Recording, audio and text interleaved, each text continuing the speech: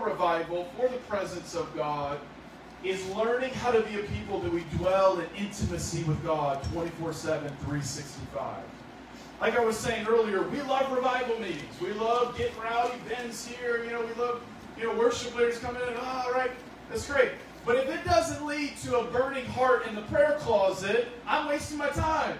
I could just go do this somewhere else. Like, you're wasting your time if messages from me or someone else is just getting you excited, but not making you want to get to the prayer closet after service. Amen? Yeah. You all got to talk to me now. Yeah. Come on. Let's be a little Pentecostal. Um, so, uh, one of my favorite stories that uh, I, I just love, I believe is one of the most important things. Funny, I was talking to John. He asked me my thoughts on IHOP Kansas City, if we were into that. And um, I won't get into that whole thing. But uh, IHOP Kansas City has a, has a major uh, foundational touch to my life. I, when I first became a Christian after being an atheist, uh, I started watching uh, International House of Prayer, you know, not the pancake place, International House of Prayer, uh, Kansas City. I started watching their prophetic history videos, and they had this. Uh, I think back then it was an eight-part series. They'd you know done a couple updated ones, but back then I think it was eight parts. And uh, one of the messages, um, Mike Bickle, who's the founding leader there, founding pastor or whatever, um, is talking about how God downloaded to them this message of the bridegroom out of the book of Song of Solomon. And if you don't know those messages, he talks about all these dramatic God experiences, angels appearing to people, and uh, heavenly experiences, and just amazing prophetic things that happen. And I remember being 17 years old and watching those and just going, I would just weep on my floor and say, God, I want to encounter you this way. I want to experience you this way. Is that what your heart's burning for tonight? Come on, it is. You're in the right place. And I would pray that, and I remember one of the messages, I think it was maybe part five or six. Um, I remember as a kid uh, hearing about the book of Song of Solomon. Every you know Baptist kid thinks it's like the funniest book in the whole Bible because you know you just make weird jokes, jokes about it when you're a 13 year old boy. right? and um, so you know I was like, man, why is that one in the Bible? What is that doing in there for? You know. And I see this message from Mike Bickle. and It's like encountering the love of God in the book of Song of Solomon. I'm like, man, this place is weird. What is this? And I'm watching this message, and the story goes that it was uh, 1985 or 6, somewhere around there. Mike Bickle was the pastor there. He grew up a boxer, grew up very emotionless. Uh, never really heard this concept of Jesus being the bridegroom. We're sons of God. He's a judge, he's a king, he's righteous, he's holy, but he's a bridegroom? That was kind of a foreign concept to him. And he's sitting in his office and he gets a wedding card, uh, like a like an invitation or a thank you or something like that. And the front of the card has Song of Solomon 8:6. Set your seal upon my heart, for love is as strong as death, jealousy is cruel as the grave. As many flashes of, of, of love are uh, as the very flashes of the flame of Yahweh. He reads this verse, he never really read it before, he said.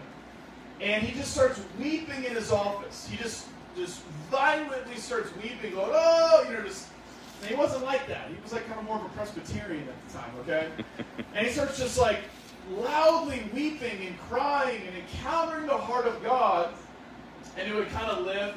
And then he would like look at the verse again on the card. Oh, Jesus, you love. He just this encounter started happening. And this was, again, very foreign to him. He wasn't a charismatic kind of person at the time. And the late great prophet Bob Jones calls him on the phone. He's in his office and he answers the phone. And Bob goes, Heh. you know Bob Jones you know what I'm talking about? He's like, "Heh. You are reading Song of Solomon 8.6 right now. That's going to be your life message. God is returning the church back to his emotions. Ah, gotta go, got a plane catch. Hangs up, right? And so I just I read that message or, or listened to that, and ever since then, one of my absolute favorite books, if not my favorite, is the book of Song of Solomon. If we're going to be a people that burn in the secret place, that go after God in the secret place, we need to be sustained on the emotions of God. Prayer gets boring, prayer gets lifeless, prayer gets dry when we disconnect ourselves from the emotions of God. Okay? When we connect our hearts in truth by the Word of God to the emotions of God, of how he feels about my little weak prayer life, my little weak attempts to make contact with God, when I connect that to how he actually feels about me, 10 minutes of prayer turns into two hours of prayer. Two hours of prayer turns into four hours of prayer. We can become a people that we live in this place of prayer. And so I want to take you on a journey tonight. In the book of Psalm Solomon, I, I could do weeks and weeks and weeks on this, but I just want to give you some interpretative things and um, all that. So let's, let's put your finger in your Bible at Song of Solomon, but let's uh, go to Ephesians 5. I just want to touch on this really quick here. John the Baptist said, It's my job or my ministry to make the voice, or to hear the voice of the bridegroom and to make him known. And Jesus, or the Yahweh of the Old Testament, we see over and over that he is the bridegroom of Israel. Then we see in the New Testament, Jesus shows up on the scene and says, I'm the bridegroom. The, the, the bridegroom, the groom of Israel that's married to Israel. He shows up on the scene and goes, That's me. That's one of the actually, a lot of people don't think about this. That's actually one of the most profound uh, claims of the deity of Jesus in all the New Testament. Because any Old Testament Jewish person would understand that, G, that the, the bridegroom of Israel is Yahweh. And Jesus, in bodily form, shows up in Jerusalem and in Israel and says, I am the bridegroom of the Old Testament, right? That is like heretical if he was wrong, right? But he's not. It's true. So check this out. In Ephesians 5, go uh, to verse. I encourage you to go back later on and start in verse 22, but for time's sake, we'll go to uh, verse 29. Uh, chapter 5, verse 29. For no one ever hated his own flesh, but nourishes and cherishes it, just as Christ does his church. Because we are members of his body. Therefore, a man shall leave his father and his mother and hold fast to his wife, and the two shall become one flesh. This is out of Genesis, okay? There's nothing in there that says anything about the church or Jesus. This is Genesis, but Paul sees a greater truth. Everybody say a greater truth. Greater Is it true this is about man and woman? Absolutely. But there's a there's a, a mystical, prophetic types and shadow here. Paul says in verse 32. He says this mystery is profound. And I am saying that it refers to Christ and the church. I want to say it this way. We think of marriage being kind of like what it is between us and God. It's the other way around. The reality, Paul says, of the mystery is our relationship with Jesus. Marriage is a prophetic symbol of what you have with God, not the other way around. Does that make sense? The reality, the substance is that we are married to God and we are to be connected to the emotions of the bridegroom. Our marriages in the natural is just to reflect what's already going on in heaven between us and Jesus. Or supposed to be, right? Does that make sense to you? This mystery is profound, he says. I'm saying, when he says I'm referring to refers to Christ, saying the foundational truth of what's being said here is not about just man and woman. It is, and that's important. He says it refers to Christ in the church. Christ in the church. He says, uh, however, let each one of you love his own wife and let, uh, let, let the wife see that she respects her husband. Let's go to Song of Solomon. I believe that all good pictures of marriage in all of the Bible, you can find principles, concepts, uh, prophetic ideas, uh, analogies in our relationship with Jesus. Even like Proverbs 31. Everybody knows, every woman knows Proverbs 31 wife, you know. All the single men in the house just said, Lord, send me a Proverbs 31 uh, person. Won't look at working around the room. People think I'm looking at them. Um, but you know, even a passage like that is a beautiful description of what the bride of Jesus Christ is supposed to be like. Amen. Yeah. There's parts in that passage that, yeah, it's about a woman being ready for marriage, but it's also about the bride of Christ being equally yoked to her husband. Uh, uh, remember what it says in 1 Corinthians. It says, do not be unequally yoked, right? Jesus has the same idea, the same concept for himself. Jesus is not coming back for a, a whore bride, an unbelieving bride. He's coming back for a bride that looks and acts just like him. Yeah. Jesus will be equal yoke before he comes back. I Yeah. tell you that. So over and over, we see this concept in the Old Testament, and it is fulfilled in the New. So we're going to start off in the Book of Song of Solomon. I'll just say this because I, I had a professor at Liberty who said, "Oh, any Bible person that believes that the Song of Solomon is about Jesus and the bride is a, is a fool." And I, I just would simply say this: I've always believed that every single word, every single sentence in the Bible is about Jesus Christ. Plain and simple. Yeah. And John Wesley said, if you can't find Jesus in every sentence in the Bible, you're not looking hard enough, right?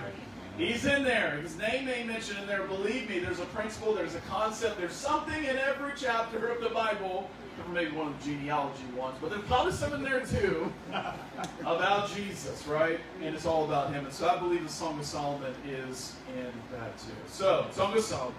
The song of all songs, verse 1 which is Solomon's. I want to start right there.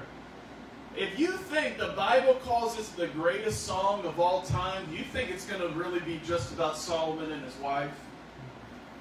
Do you think the greatest song ever written was about a king and some woman? Absolutely. The greatest song of all time is going to be about Jesus and the bride, I Yeah. sure Yes. believe, right? So right there, I believe this is very clear. This is it is a, a prophetic, spiritual mystery about Jesus and His church.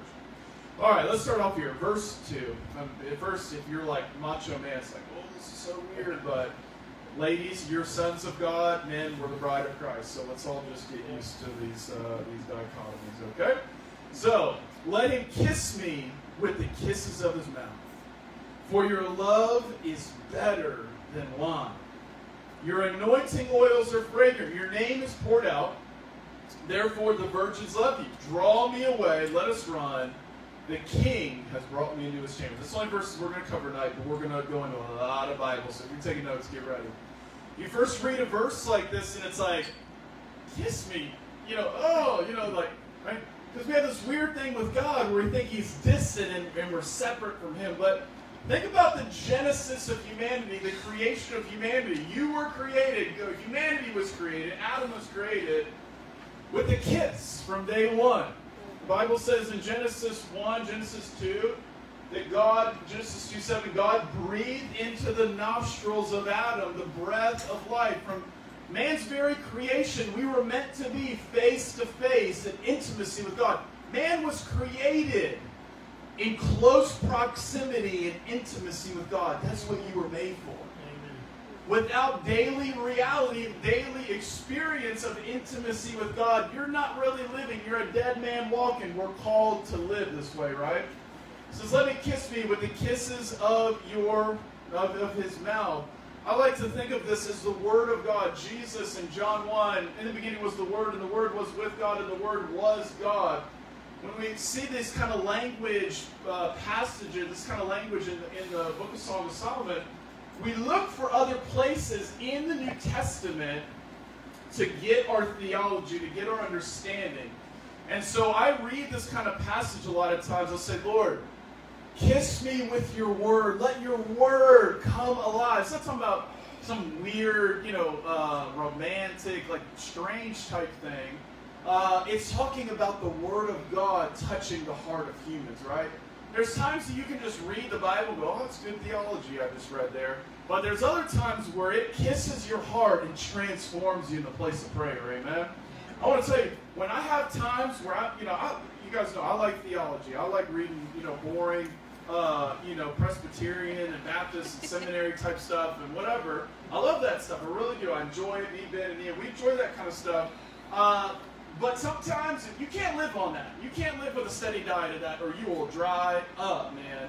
Uh, when I feel like my heart's growing, uh, you know, too busy with working here or with too much theology or just being too serious, man, the first thing I do, I break out the book of Psalm Solomon. I sit my Bible on my floor. I've been doing it this week. I sit my Bible on the floor and I say, Lord, kiss my heart with your word. And oh, the depths of God that I start to experience sometimes when I just say that little simple, out of my comfort zone phrase of God, kiss my heart with your love. I want to experience you it's worth a billion dollars to experience that intimacy with God in those moments. This is what we're after. For your love is better than wine. Actually, let's go back to, uh, we're going to go to a lot of Bible places. Let's go to James 4 first, before we move on here. And then kiss me with a kiss of his mouth. Um, let's go to James 4.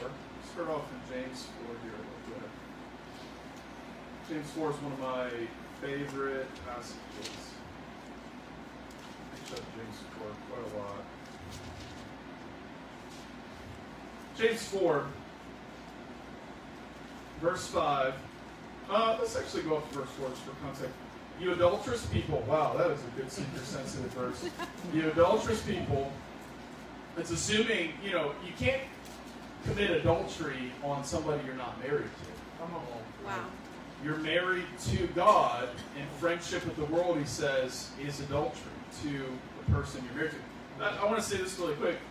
If you think about this in the Old Testament setting, God never uh, chastises or uh, condemns the nation specifically for that. He does for their other sins, but never for spiritual adultery. Israel's called some pretty harsh words. You're not even supposed to say in church, but they're in the Bible. But uh, at times, why? Because they were married to God and they were committing spiritual adultery. This is the same concept that we see here that we are married to God, and when we go after, in Israel, is going after the idols of other nations, the gods of the nations. But in the life of the believer, when we have other lovers, it's like committing spiritual adultery, James is saying. Um, he says, uh, You adulterous people, do you not know that friendship with the world, anyone who makes uh, friendship with the world makes himself an enemy of God? Therefore, whoever wishes to be a friend of the world makes himself an enemy of God. Or do you suppose that of no purpose, in Scripture says, he who yearns jealously, everybody say jealously, Jealously. jealously over the Spirit he is made to dwell in us.